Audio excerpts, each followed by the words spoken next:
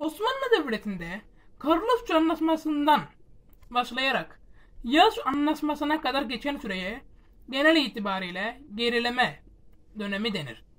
Bu dönemin sonlarına doğru Osmanlı Devleti'ne Avrupalılar tarafından hasta adam denmeye başlanmıştır. Çünkü bu dönemde Osmanlı Devleti büyük oranla toprak kayıpları yaşamıştır.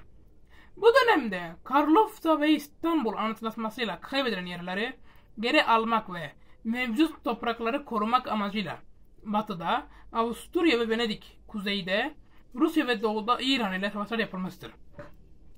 Bu yüzden Avrupa'dan geri kalandığı Pasarofça Antlaşması'ndan itibaren kabul edilmiş ve yapılan ıslahatlarda Avrupa örnek alınmıştır.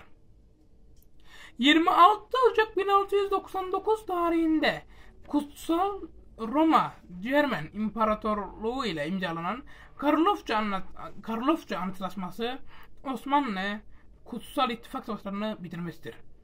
Karlofça Antlaşması Osmanlı Devleti'nin toprak kaybettiği ilk antlaşmadır. Bu tarihten sonra Osmanlı Devleti'nin gerileme dönemi başlamıştır. Papa tarafından Osmanlı Devleti'ne karşı Almanya İmparatorluğu, Avusturya Arşidüklüğü, Polonya Krallığı, Rusya Çarlığı, Malta San Zermen Şövalyeleri Tarikatı ve Venediklilerden oluşan bir ittifak ile uzun süren savaşlar sonunda yorgun düşen Osmanlı Devleti, Banat ve Temasvar hariç bütün Macaristan ve Erdelbeyliği Avusturya'ya, Ukrayna ve Podolya Lahistan'a, Mor ve Dalmaçya kıyıları Venediklilere bırakılmıştır. Bu yüzyıl başlarında Osmanlı Devleti kaybettiği toprakları geri alarak Avrupa'da tutunmayı ve eski gücünü korumayı amaçlamıştır.